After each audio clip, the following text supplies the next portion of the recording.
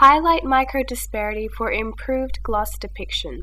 Physically rendered reflections, as seen here, can be a distraction when shown in stereo. Alternatively, flat reflections can be rendered on the surface. However, this changes the material appearance. We suggest highlight microdisparity to achieve full viewing comfort and faithful material depiction.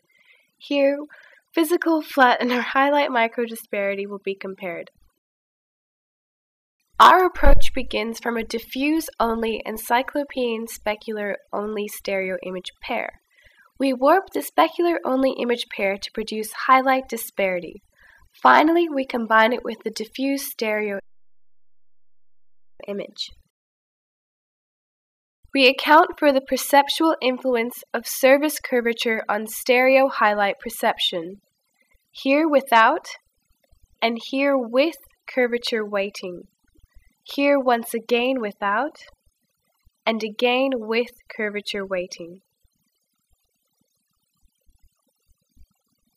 Here we show the curvature map. Note how the smaller objects receive less highlight micro disparity. Optionally, we allow for high-level artist control. The artist places control points in the scene and adjusts the micro disparity to become stronger or weaker.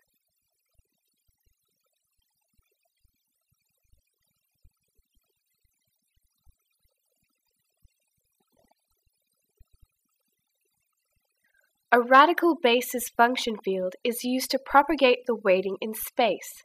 Red indicates an increase, and blue indicates a decrease of microdisparity.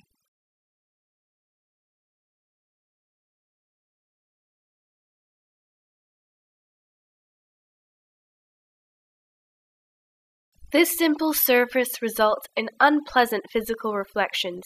Change of the highlight shape can be observed in the upper part of the object. Flat reflections look unrealistic. Our approach provides a compromise.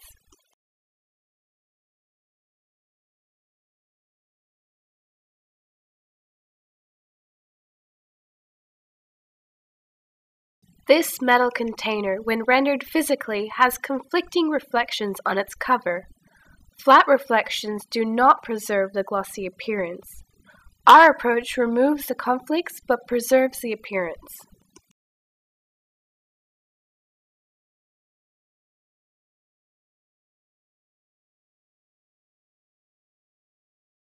This bunny results in unpleasant physical reflections. Flat reflections are once again unrealistic. Our approach produces better reflections.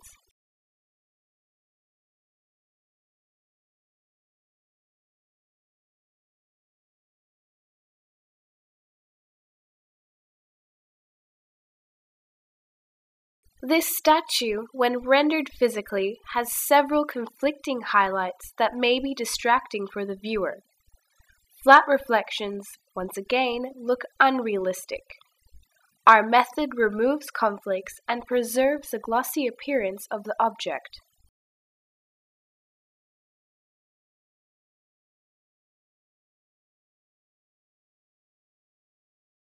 Our approach allows to add specular disparity if the computational resources are not sufficient to compute shading twice for stereo, for example in computer games.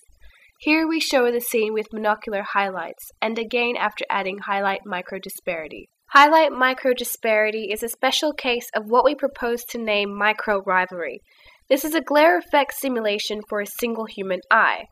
The same glare with independent simulation for both eyes. Glare that includes rivalry appears richer, more lively, and also more 3D. Here we show again monocular glare together with the human eye's aperture. Here, glare with a stereo aperture. The final example is car paint, here shown in mono. Statistically distributed metal flakes cause independent highlights in each eye that contribute to its characteristic appearance in stereo. Thank you.